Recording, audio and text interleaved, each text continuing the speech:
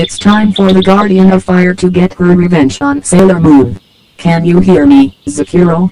This is Zakuro speaking.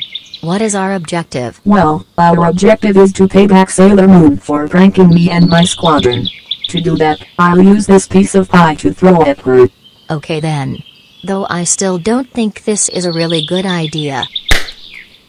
Ow. Stupid mousetrap. Mousetrap? Well, well, well. If it isn't Sailor Mars. Looks like you fell into my mousetrap. Okay then. I've had enough. Take this.